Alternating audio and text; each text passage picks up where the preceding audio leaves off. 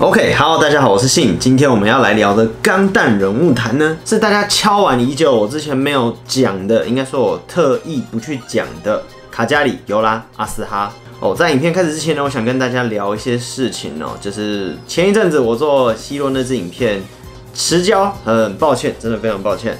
那 那一阵子因为活动真的太多，然后制作影片上又出了一点小问题，结果就导致于最后都在赶工跟爆肝。那最近有一些蛮酷的计划也正在执行中，那是什么呢？现在还不能讲，我要保密。不过到时候你们就会知道了。那我相信对动漫迷来讲呢，对我们这些动画仔来说呢，会是一个很棒的一个企划。那除了这种企划以外，还有一个比较沉重的企划，但那个我现在也不会讲到一个时间成熟的时间我才能说。那以上就是今天开始影片前想跟大家聊的话了。好了，那我们就来准备开始今天的钢弹人物谈吧，Let's go。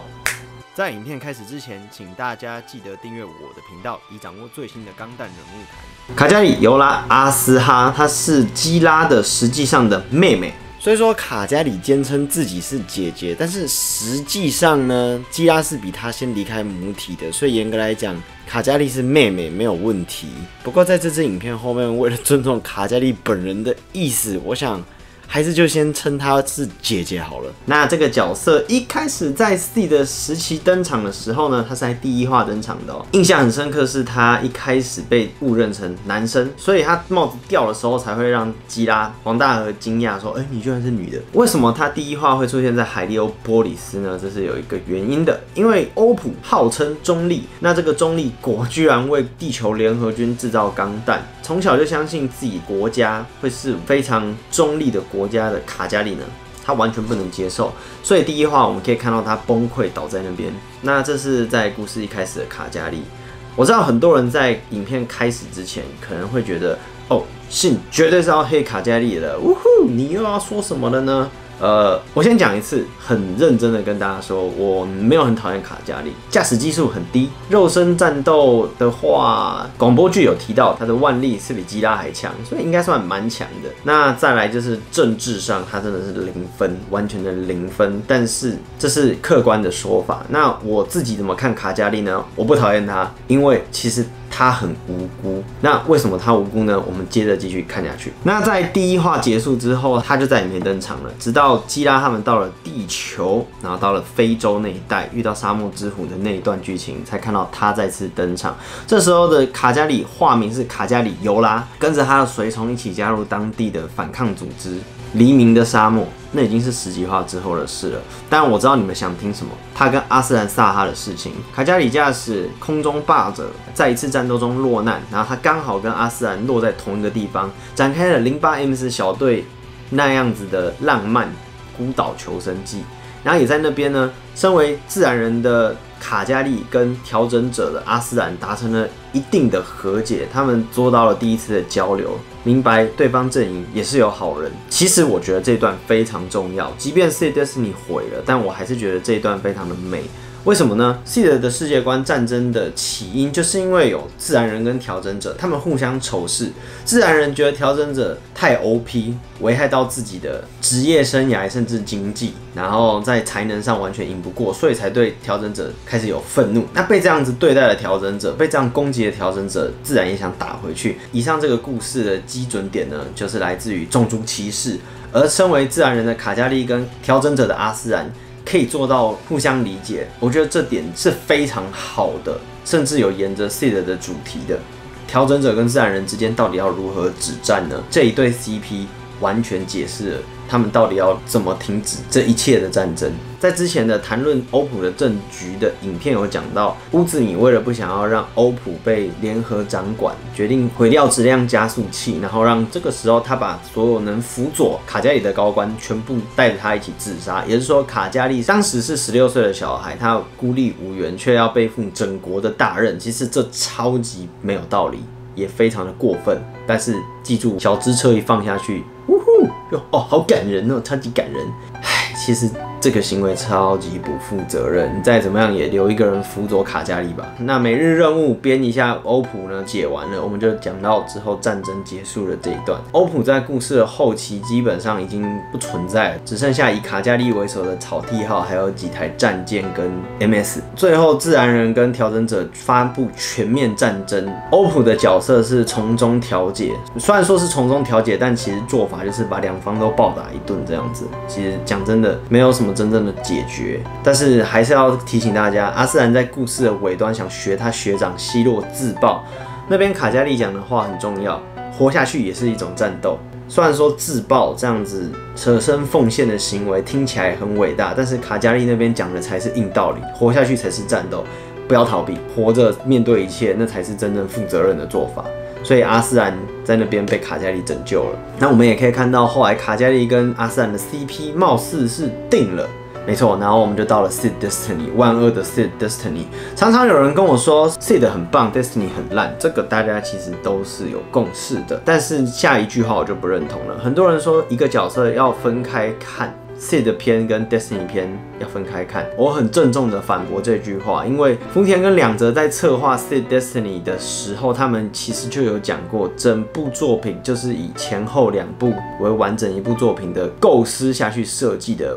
无论 Destiny 是否砸锅，我觉得都不可以逃避角色在 Destiny 发生的事情。前面几个钢弹人物谈有讲到，有很多角色在 Destiny 被毁掉了，那个人格塑造整个毁了。其中最严重、最惨的，那就是卡嘉莉了。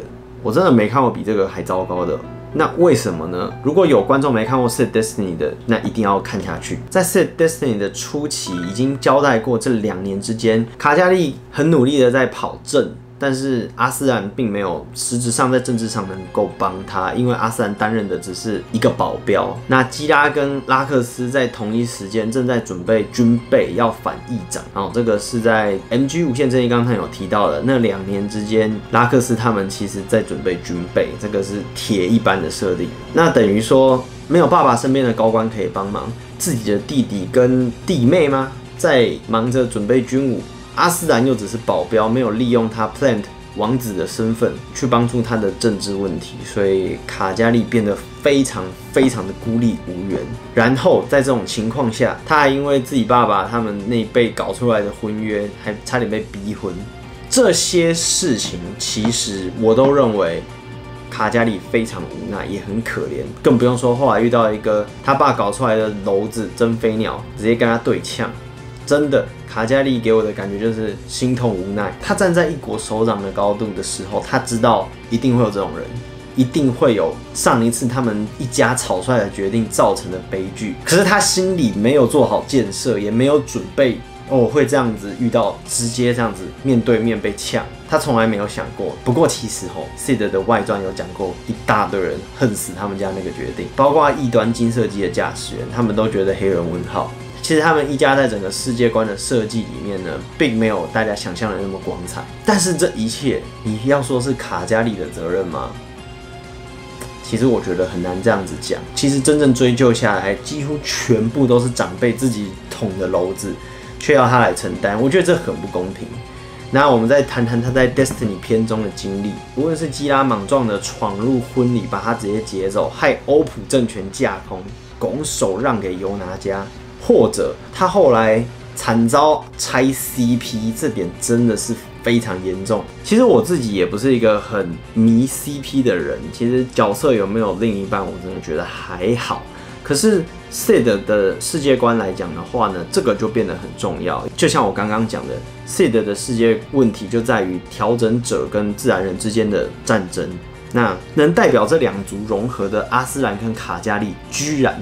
就这样被拆 CP 了，而且几乎是毫无道理、莫名其妙的拆。我觉得这个真的是非常糟糕。我一定要在这边跟大家讲，不要觉得我老是黑大天使号群。我跟你们说，卡加利的遭遇我也很不爽。首先，他被拆 CP 的时候有一个传言，当然这是网络传言。起初我不认为有多少的可信度，但是在后来看到近藤尚美对整部 Sid Destiny 的作品后来的看法，甚至角色他直接拒配好几次，好多游戏卡加利都是没有声优直接缺席的。我开始觉得这说法是真的。那不知道这说法的人，听我把它讲完。起初，福田导演找林村健一配真飞鸟的时候是没有经过甄选的，他是直接钦定林村健一饰演真飞鸟，这点是访谈都有提到，这是确切的。只是后来，因为大家也知道福田他们对真飞鸟的戏份安排不尽人意，甚至就是尽他所能的不要描写他了，就专心描写鸡鸭这样子。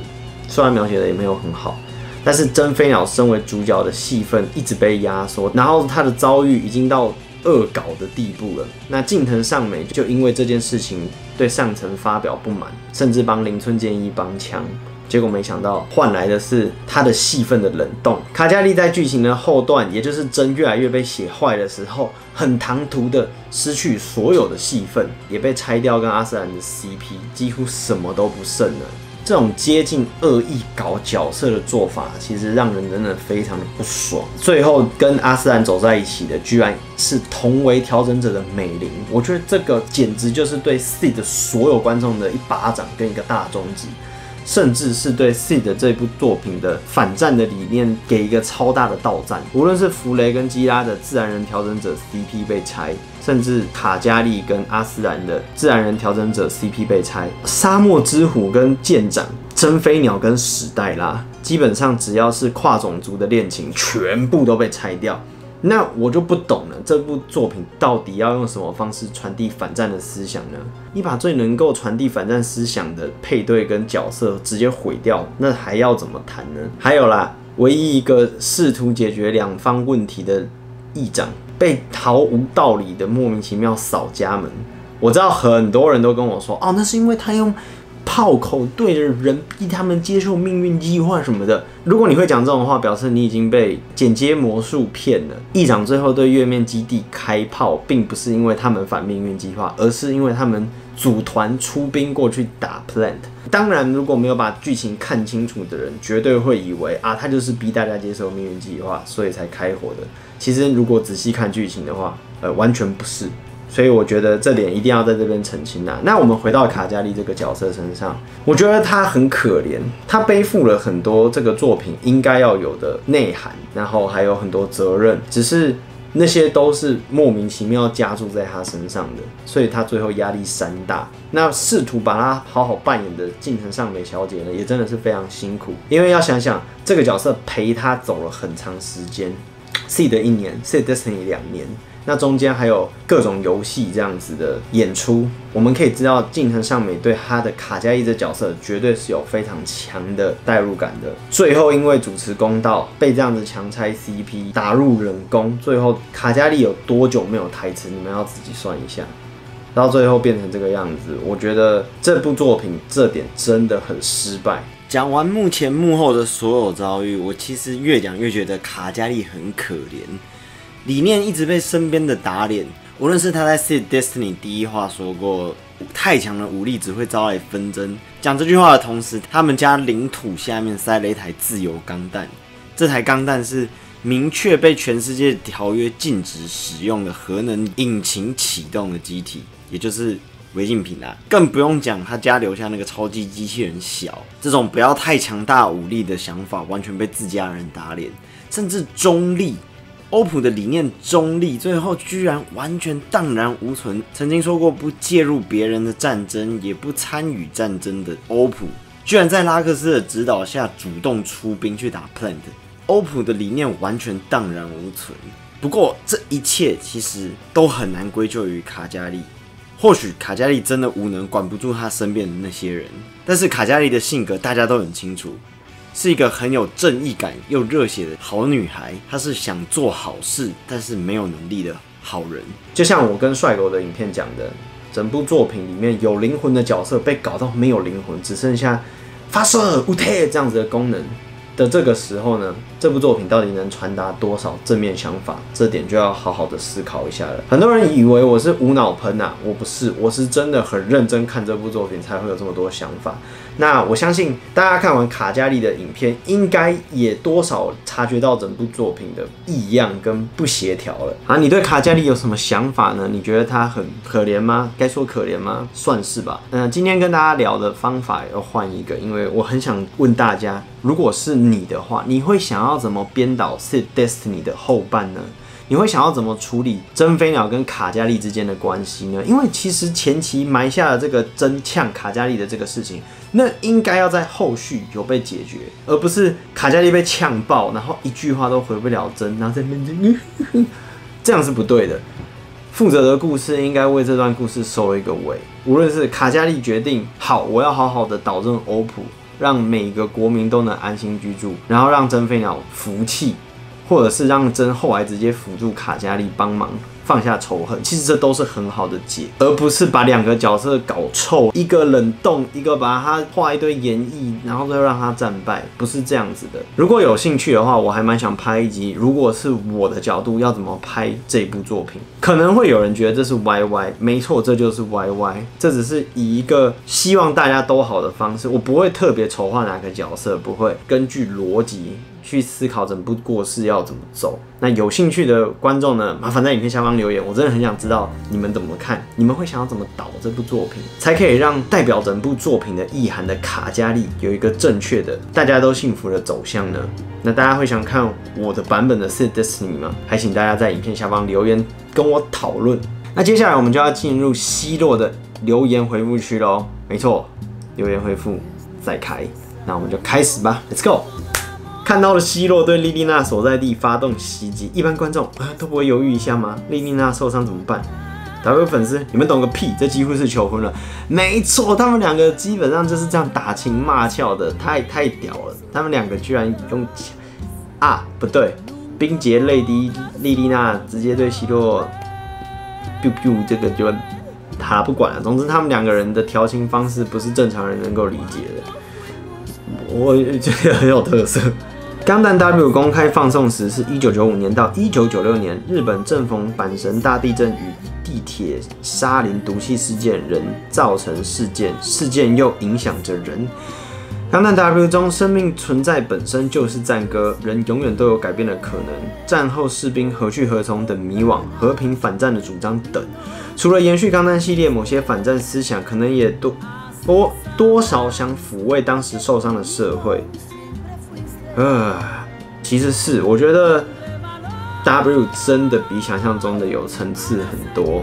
当然，我不是说其他作品没有，不过 W 是蛮适合推坑的。只是我认为它的意涵深到可以看好几次才可以解释出来，所以我没有放在适合推坑的行列。不过，如果对钢弹的深奥度有一定心理准备的情况下去看的话，非常好。所以它可以算是小进阶的作品，我非常的推。好，总之这一支讲卡加利的影片就到这边。我觉得可能到最后都听起来有点像抱怨这个角色的处境。